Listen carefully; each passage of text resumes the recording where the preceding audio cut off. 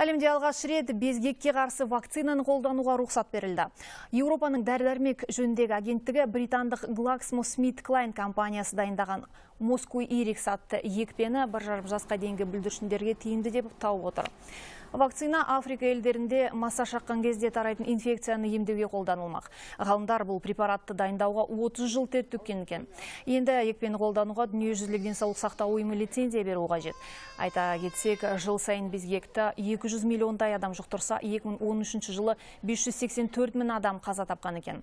Құрбан болғандардың көбі 5 жасқа дейінгі африкалық балалар.